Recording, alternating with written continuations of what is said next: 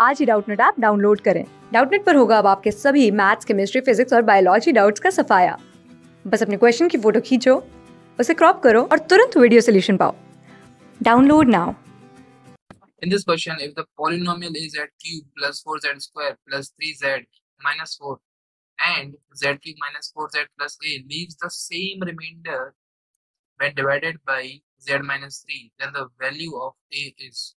So here the two polynomials are given. Suppose the first one is p1 equal p1 z equals to a z cube plus 4z square plus 3z minus 4.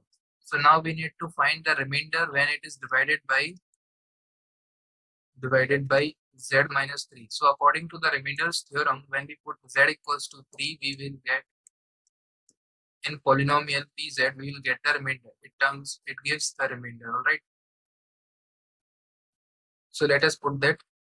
So put z equals to 3. So we will get a times 3 cube plus 4 times 3 square plus 3 times 3 minus 4. This gives 27a plus 4 times 9 that is 36 plus 9 minus 4.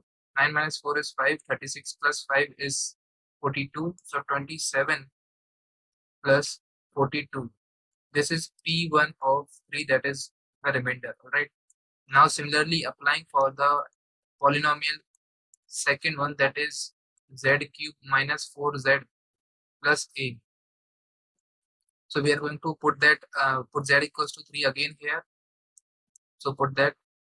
So this becomes 3 cube minus 4 times 3 plus a. So this gives 27 minus 12 plus a and this is 1 5 plus a which is p2 of 3.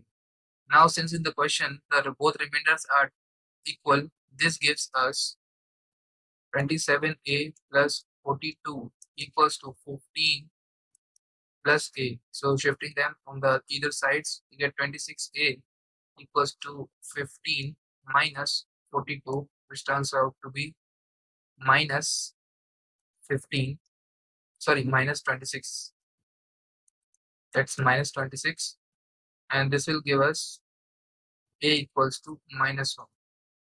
Oh, sorry, I have done some mistake here this is not 42 but this is 41 and this will here also be 41 all right and now this will turns out to be minus 26 and a is equals to minus 1 all right so our answer is minus 1 class six से twelfth से लेके NEET I I T JEE mains और advance के level तक।